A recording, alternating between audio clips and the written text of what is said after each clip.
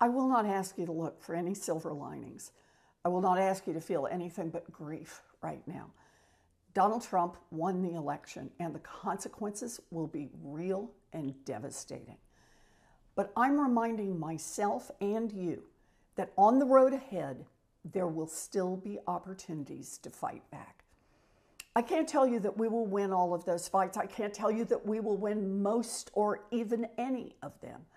But when we arrive at each of those moments, we will face a choice to give up or to press forward. The far right wants us to feel powerless. Extremists are counting on apathy, cynicism, heartbreak, or all of the above as their rocket fuel. They are counting on us to point fingers at each other and to lose trust in our ability to ever, ever make change. I absolutely refuse to give them that satisfaction. We will continue to fight for each other. Look, eight years ago, in the dark days when Republicans took full power in Washington, I thought the Affordable Care Act would be gone with the snap of a finger. But the American people rose up.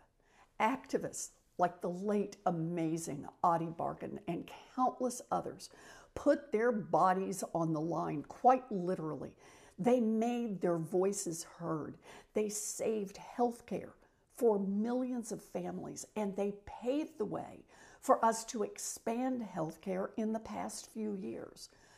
And a grassroots movement against far right control took back the House in 2018 and the White House in 2020 and the Senate in 2021. Don't let anyone tell you that those victories didn't make a real difference.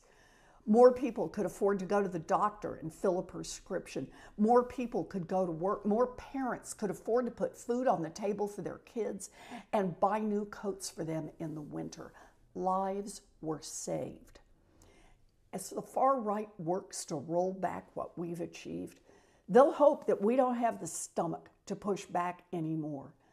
But we can choose to prove them wrong. We need each other. We take care of each other. And please take care of yourself. Take the time you need right now to be angry, hurt, confused, Hold your loved ones close. Find opportunities to be in community with others this week. Take, take social media breaks.